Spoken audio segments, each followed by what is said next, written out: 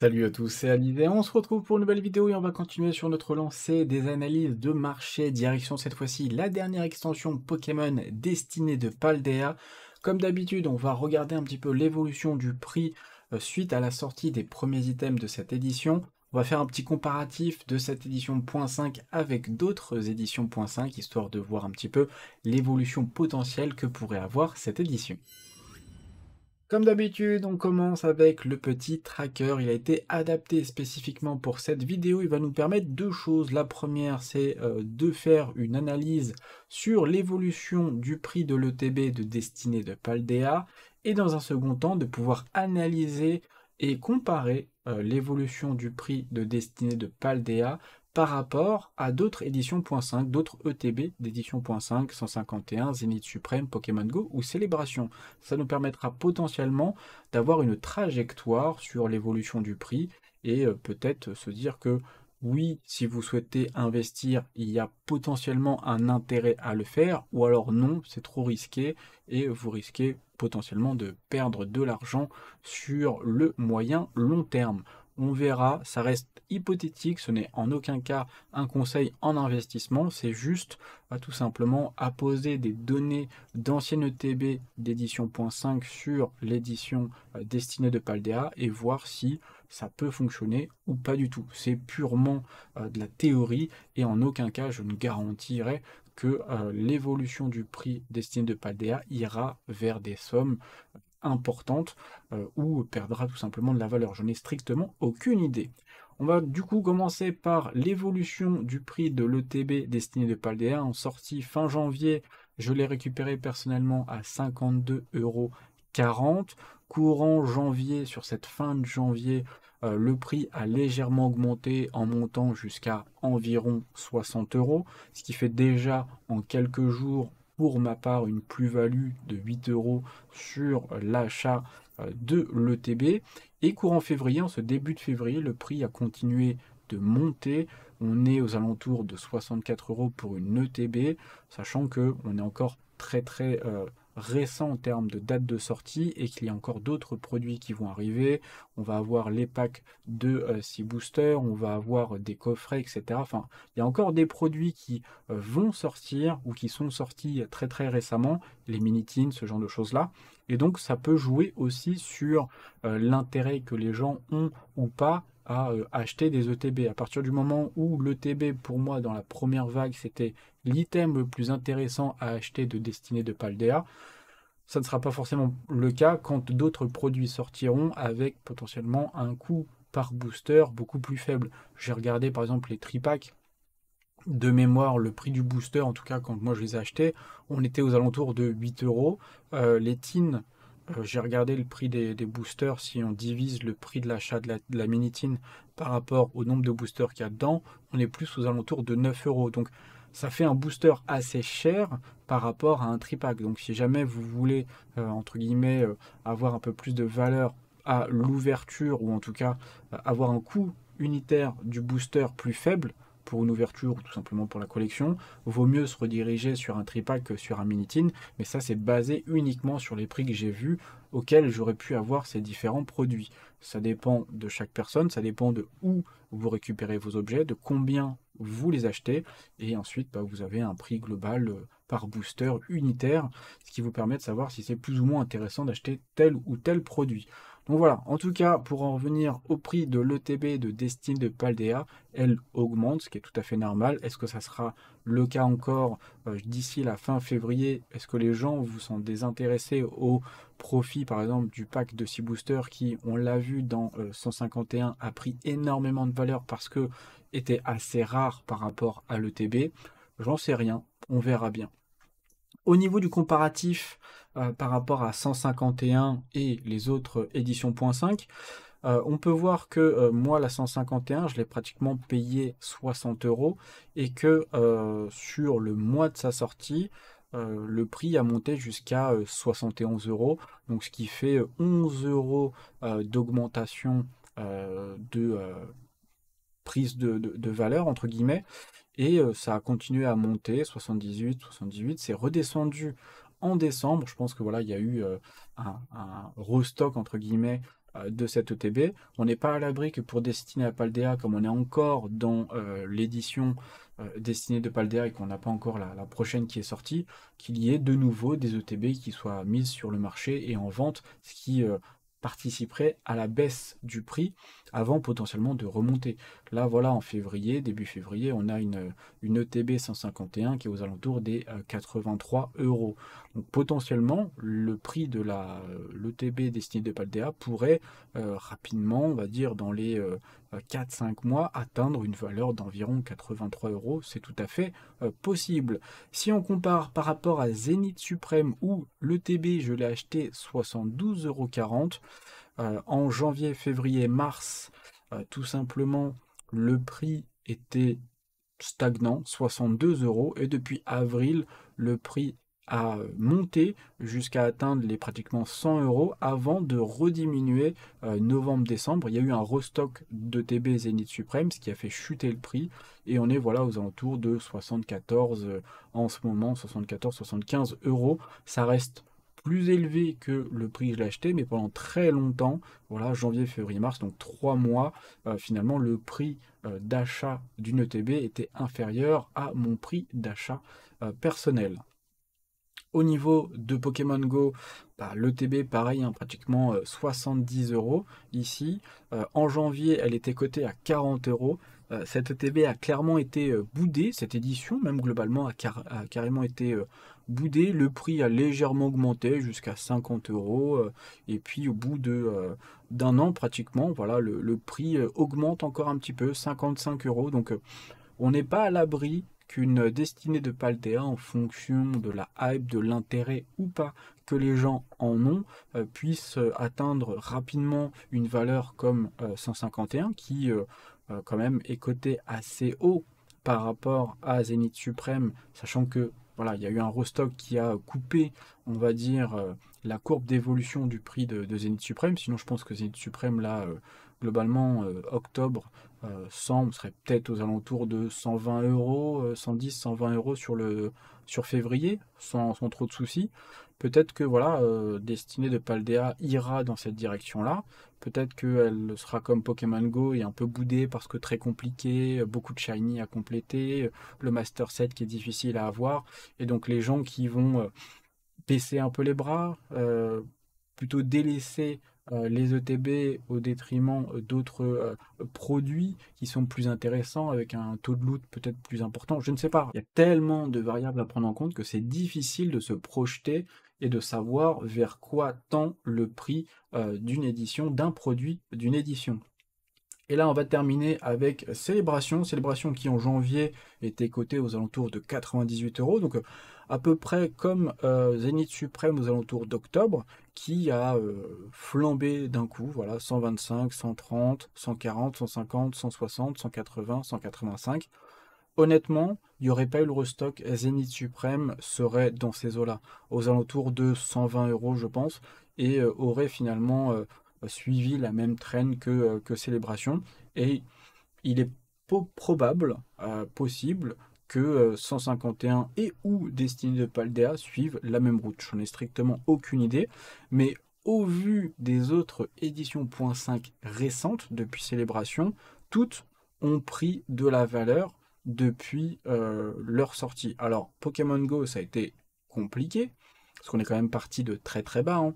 On voit qu'en janvier, euh, tout simplement une ETB Pokémon Go qui est plus ancienne qu'une Zenith Suprême avait 20 euros d'écart.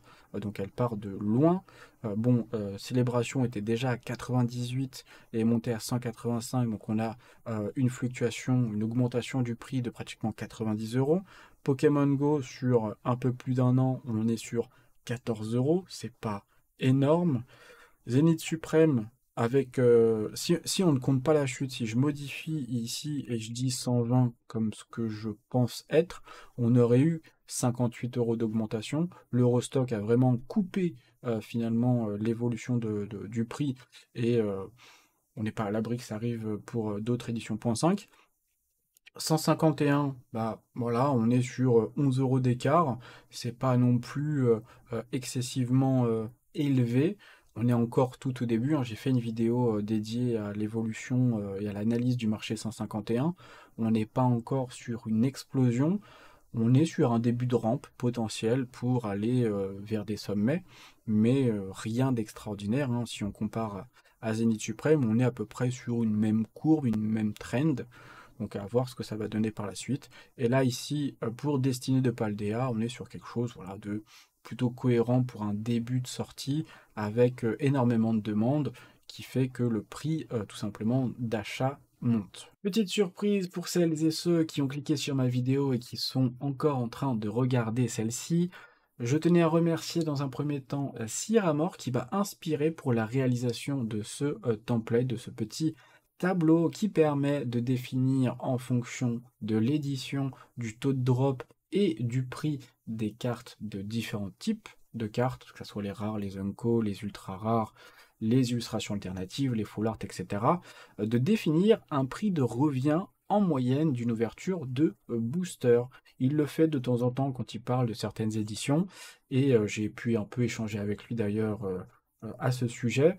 Et voilà, j'ai décidé de construire mon propre tableau avec les informations de drop rate des différentes éditions. Et là, en l'occurrence, on va comparer le prix de revient d'un booster destiné de Paldea contre un euh, booster 151. Euh, Aucun intérêt de comparer avec du Zenith Suprême ou euh, tout simplement du Célébration. Ce sont des éditions qui sont beaucoup plus vieilles, qui du coup théoriquement ont des cartes plus anciennes, donc ayant plus de valeur, étant plus difficiles à trouver. Et donc ça n'aurait aucun intérêt. Là, on va comparer les 2.5 finalement qui se suivent. Pokémon 151 et Destiné de Paldea et on va pouvoir avoir un peu un avis, un comparatif et voir ce que les chiffres nous donnent comme valeur avec potentiellement quelques explications. On va donc rentrer dans euh, le détail de ce tableau. On a ici sur ces quatre premières euh, colonnes les quatre premiers slots d'un booster. Donc quand vous ouvrez un booster, vous avez quatre communes. Euh, les communes sont en moyenne à 2 centimes unité. Donc 4 communes dans un booster vaut environ 8 centimes. Ensuite, sur les euh, slots 5, euh, 6 et 7, qui sont juste ici, on va équilibrer tout ça, on a des Unco. Les Unco ont une valeur aussi moyenne globale de 2 centimes, ce qui nous fait que euh, les 3 slots d'Unco représentent à peu près 6 centimes. Et c'est intéressant de noter que 4 communes valent plus cher que 3 Unco en moyenne. Hein. Après, il y a des Unco qui coûtent plus cher, euh, etc. Bref, ça fluctue, mais voilà, en moyenne, on a une Unco qui est à 2 centimes, avec une commune qui est à peu près à, 2 centimes aussi. Donc, euh, vaut mieux avoir 4 communes que 3 Unco. Ensuite, ici, nous avons le euh, premier slot reverse, donc c'est le slot 8, où nous pouvons avoir une commune reverse, ici, une Unco reverse, une rare reverse, dans Destiny de Paldea, on peut avoir une shiny, une euh, shiny ultra rare. Et euh, du coup, chaque type de carte a une, une proportion à tomber avec une valeur. Donc on voit ici que les communes globalement euh, sont à peu près euh, à une valeur de 7 centimes, comme les Unco. Les rares sont aux alentours de 10 centimes. On a euh, les Shiny qui ont une valeur moyenne de 11 euros et les Shiny ultra rares qui ont une valeur moyenne de 7,50 euros. Donc en fonction de la proportion à chacun des types de tombées, on a une valeur moyenne du 8e slot de 3,40 euros. Notez bien 3,40 euros parce que c'est extrêmement important. Le slot d'après 9, on peut aussi avoir euh, tout simplement des cartes euh, sympathiques. Donc on a encore les classiques reverse, commune, unco, rares. On peut avoir des illustrations rares, des illustrations spéciales rares et des hyper rares. On peut voir que les illustrations rares ont très peu de valeur en moyenne, 1,90€. On a les illustrations spéciales qui ont énormément de valeur. Ici, on est sur du 89 euh, euros euh, en moyenne. Et ici, on a les hyper rares qui valent pas très cher, quand même une vingtaine d'euros. Hein. Mais c'est vrai que comparé à des illustrations spéciales, c'est pas grand grand chose. Ce qui nous ramène avec la proportion et le taux de drop une valeur moyenne du euh, slot numéro 9 d'environ 2,10€. Et on termine avec le dernier slot, celui où euh, nous pouvons avoir une rare holographique, une double rare ou une ultra rare. Et là, clairement, euh, bah voilà, en fait, je m'attendais à ce que le slot 10, moi théoriquement dans ma tête, soit le slot le plus intéressant, celui où il y a vraiment le plus de trucs, et bah pas du tout en fait dans un booster. Là, on voit clairement que euh, entre une rare, une double rare ou une ultra rare, on a des prix moyens euh, double rare de 1,30€ et ultra rare de 2,36€, ce qui fait que le slot numéro 10 ne représente que 40 centimes grosso modo. Donc si on cumule tout ça, les slots communes, les slots unco, les slots reverse et le dernier slot de la carte rare, on a un prix de revient moyen pour Destinée de Paldea de 6,09€. Ce qui fait que, théoriquement, quand vous ouvrez un booster Destiné de Paldea que vous achetez à un prix euh, revendeur de 6 euros, vous pouvez l'ouvrir, revendre toutes les cartes, ça vous remboursera théoriquement le prix d'achat de votre booster. Donc vous pouvez ouvrir entre guillemets juste euh, en payant 6 euros à l'infini. Vous ouvrez un booster, vous l'achetez à 6 euros, vous le revendez à 6 euros, ce qui vous permet d'en racheter un, de revendre le contenu, d'en racheter un, de revendre le contenu, etc. C'est ainsi de suite. C'est très rare, euh, honnêtement, d'avoir un prix de revient d'un booster qui est équivalent, si ce n'est supérieur, au prix d'achat, tout simplement. En titre de comparatif, ici, 151. Donc on peut voir qu'on a les mêmes valeurs hein, sur les slots 1, 2, 3, 4, 8 centimes pour les communes, 6 centimes pour les Unco. On a le slot 8 où nous n'avons pas de shiny et de shiny ultra rare euh, sur ce slot dans 151, ce qui fait chuter drastiquement finalement la valeur de ce euh, premier slot reverse à 10 centimes. On passe de 3,40€ avec les shiny à 10 centimes. C'est fou quand même de se dire que euh, les shiny et les shiny euh, rares sont euh, aussi chers et apportent autant de valeur au, booster. Au niveau du slot 9, on voit que les illustrations rares, spéciales rares et hyper rares de Destinée de Paldea ont un coût moyen de 1,10€, quand ici sur 151, on a 3,20€. Donc on a le slot 9 qui est plus important que, euh, enfin sur 151 qui est plus important, plus intéressant financièrement parlant que le slot 9 de Destiny de Paldea. Par contre, on a le slot 8 de Destiny de Paldea qui est le slot le plus intéressant. Grosso modo, vous ouvrez un booster, vous allez au 8 slot. Si vous avez une shiny, c'est pratiquement tout bénef. C'est là où vous avez euh, bah, finalement quelque part la moitié de la valeur du prix du booster. C'est fou. Et euh, on va terminer après sur le slot 10, où là, euh, globalement, sur Destiné de Paldea, on a un coût moyen de 0,40 centimes. Ici, on a un peu plus de valeur côté 151, avec 66 centimes euh, la carte du dernier slot, qui amène une valeur globale de revient pour l'ouverture d'un booster 151 à 4,05€. Il y a 2 euros d'écart entre euh, la valeur à l'ouverture d'un booster destiné de Paldea par rapport à la valeur d'ouverture d'un booster Pokémon 151. Et c'est uniquement, majoritairement, on va dire, lié au fait qu'il y ait des shiny dans Destiné de Paldea qui fait gonfler le prix du, euh, booster et la valeur euh, qu'on en ressort une fois ouvert. Donc voilà, petit comparatif que je trouvais intéressant, petit bonus du coup pour cette analyse au niveau du marché de Destinée de Paldea. On va maintenant s'attaquer à la disponibilité des principaux produits de l'édition destinée de Paldea, en commençant par le booster. Le booster ici, prix de départ 7,50€ en français. Si on se réfère par rapport à ce que je vous ai dit juste avant sur la valeur d'ouverture d'un booster destiné de Paldea, à 7,50€ plus les frais de port, vous allez, statistiquement parlant, perdre de l'argent à l'ouverture. Alors oui, vous allez pouvoir tomber sur la Shiny Machin, Pikachu, le Dracofeu Bidule, etc. qui valent des sommes assez importantes, mais statistiquement parlant, vous avez une valeur moyenne de 6 euros pour un achat d'un booster à plus de 7,50 euros. Ça vaut pas spécialement le coup. Mais ça explique aussi pourquoi le prix d'entrée du booster est aussi élevé parce que le prix de revient est aussi important. Donc, quelque part, c'est un peu logique et il est normal, entre guillemets, d'avoir un prix euh, de vente qui soit supérieur au prix de revient. Il faut bien qu'il y ait quelque part un bénéfice qui soit fait euh, théorique euh, sur la vente plutôt qu'à l'ouverture. Mais voilà, globalement, on a le prix d'entrée à 7,50€ qui oscille jusqu'à 9,60€. Et on a quoi 3 et 3, 6... 6, 2, 400, 120, 130, Ouais, allez, 150 boosters disponibles, grosso modo, euh, euh, sur euh, Card Market pour le booster destiné de Paldea, ce qui est pas mal sans être excessif, mais en même temps, tous les produits n'ont pas encore été mis en vente, donc il est possible qu'il y ait plus de boosters qui arrivent par la suite. On a ensuite le TB, donc je vous en ai déjà parlé, prix d'entrée euh, environ donc 64 euros, hein, c'est ce que j'avais dit euh, dans euh, la présentation et le tableau tout à l'heure.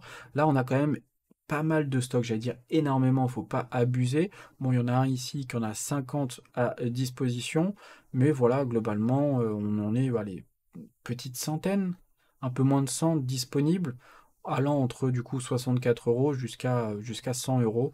Il y en a qui voient loin. 100 euros, euh, c'est euh, même pas le prix d'une Zénith Suprême qui est sortie il y a, plus de plus de 6 mois, un an. Donc euh, ça m'étonnerait que ça atteigne ces prix-là tout de suite. Et ça m'étonnerait qu'il y ait des gens qui achètent à ce prix-là, mais on ne sait jamais. Dans un an, deux ans, peut-être que ça sera un prix d'entrée euh, pour tout simplement cette ETB.